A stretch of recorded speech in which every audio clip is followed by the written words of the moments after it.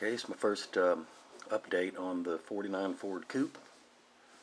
Um, here's the little box that came with it. It actually builds into a kit, little little miniature kit box. It's identical to the uh, big box. Pretty cool. anyway, just thought I'd show that. See, I've done some work on the motor. Uh, a lot of it's still just dry fit on here because I'm going to strip some of the chrome.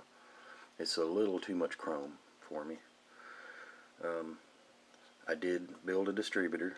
I scratch built a, a, distributor out of some electrical parts and things and and I made some wires. Um, I've got some little harness attachments that I made um, and drilled and inserted the wires into the block um, and done some painting and fitting. I'm going to have to shim up the blower just a little bit because the uh, mounting pins for the belt drive here don't quite line up. So I'm going to have to do a little little work on that too. Uh, I'm going to leave the valve covers chromed. And this is that Cadillac V8. I'm not real familiar with that engine, so I'm going to have to look at some more pictures to kind of if I can add a little more detail to it. I'm, I plan to do that. So it's just kind of dry fit right now. But uh, it's uh, a good a good ways done. Okay, move that out of the way. Uh, the body. I did a lot of work on this body, um, trying to get everything nice and smooth and blemish free. Uh, I actually put a lot more into this body than the engine. Um, there's like several areas where it needed work. Uh, one bad area was around the trunk. Uh, this area here. Uh, it was just the way it was molded. This lower section stuck way out from the trunk. Uh, and I ended up sanding that down a lot before I even primed it. I went back in and rescribed the, the trunk lines and uh, got that all smoothed in and primed and then a little sanded just a little more to blend it in. Um, and while I was at it I went ahead and, and cleaned up some of the lines on the doors and things to sharpen them up a little bit. It, the, the, the detail kind of faded in and out on a lot of it so I, I tried to clean that up as best I could. I went around everything, the trunk lines. the hood was a terrible fit. Um, there was a lot of work to get this hood to fit in there nice and smooth and fit everything. And uh, just to show, I ended up having to add a serious amount of extra plastic here. Um, the hood was warped. I had to try to straighten it out a little bit. And then I did some sanding on it. Uh, and had to do some sanding here and there until I could finally get that hood to fit in there real nice and pretty. Uh, of course, I cut the I cut the hood opening out and mounted the scoop so I can so that'll be ready for paint. And uh, and have to mount the hinges. I'm tempted to do working hinges. We'll see how that goes. Um, this section here, all this is a separate piece from the body and it was not the best fit either. Um, there was big gaps and then it was not as much a gap on this side and whatnot. So I've started filling in and sanding. I want to blend this all in just nicely. And of course there was seam you know seam lines and things like that. So I worked a lot on this body trying to get trying to get it you know and, and just looking better. And uh, I cut these wheel wells out. Um, most of the builds I've seen of this car is is like a lowrider or sled type. I haven't seen any really that are more of a street car look to this because it makes a great sled. So I just to be a little different I'm trying to go with a street you know a, a street look. So I did end up cutting these out on both sides and sanding and getting that nice and smooth and trying to get a profile that looks that's going to look nice with the wheels and stuff. Um, I think that's all I've done other than a lot of sanding and smoothing and stuff on the body. I'm going to hit it with another just a light coat of primer and mainly just to get this part nice and smooth you know make sure that that comes out smooth when I paint it. Uh, let's see the wheels were a lot of trouble um, these rims stick way out. They, they didn't even look right. I mean, if it would have been on a real car, the rims were, were sticking out like an inch from the tire.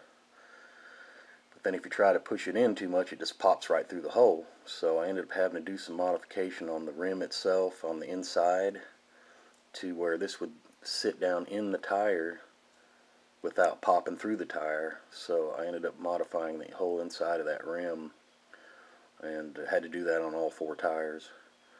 Um, and the distance between this piece and this piece was too was also too wide, so it was a loose fit in the tire. So yeah, these old models, they're a little bit of work. Um, I'm surprised how much work I've had to put into it just to, it doesn't look like I've done anything, but it's been a lot of work. Um, you know, anybody that says airplane models and whatnot are harder than cars, I tell you, I, I'm, I'm beginning to think otherwise. These cars are, can be a lot of work. But uh, let's see where else. I've, one other thing I've done so far is I've, I've, I've sanded and, and cleaned up the, the framework here. Uh, there's a big blemish here I've got to fill in, just something, a, a, bad spot in the mold. And I scratch built some shocks uh, out of some parts from uh, some rivets and another piece, and then I soldered a little pin on the ends here, and then added this styrene, and then there's another little, actually a pin that comes out of there and goes down into the axle. So these are these are on there. Um, I still, you know, have to paint the housing and all that, but I wanted to get that kind of, I just want to do some scratch building. Uh, I want to run a gas line or fuel line and possibly, the tires are just on there. I don't have the inside the hub yet, um, but I may try to just do some brake lines and things like that. I, I know I got to add some detail if I'm going to have any chance at, uh, you know, in this contest. So I've got a little ways to go. I've got a lot done. It doesn't seem like it, but I've got a lot of time in it so far. Um, you know, scratch building these two shocks took a while, but it was I like doing that. That was fun. So, uh, and it's a good learning experience for me. So that's pretty much the progress I've made.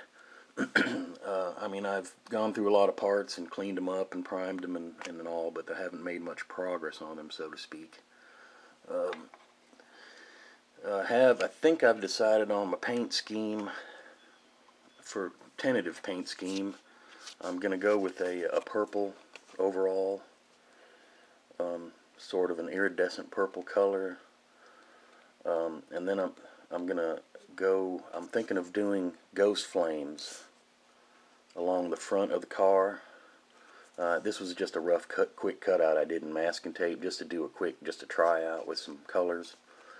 And uh, it's going to be a lot less prominent than this color when I do the flame. I want it to be where you see the flame in the light but it's not real obvious as it is on this sheet. So it'll be kind of a what's called a ghost flame. Um, that's my plan and hopefully that part works out good otherwise I'll be stripping paint and but I've got plenty of time so that's kind of my idea on the paint scheme and uh, I think that's about it.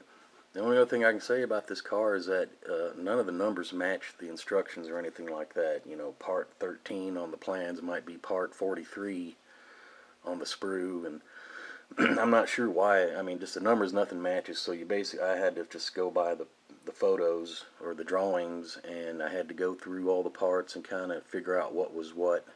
Uh, there was a lot of plus. There's all these extra parts, so it took me a while to sift through all the parts and find what works with what and what version and, and all that. No big deal. Uh, I've pretty well got it figured out now. And uh, so that's uh, the progress so far on the 49 Ford Coupe.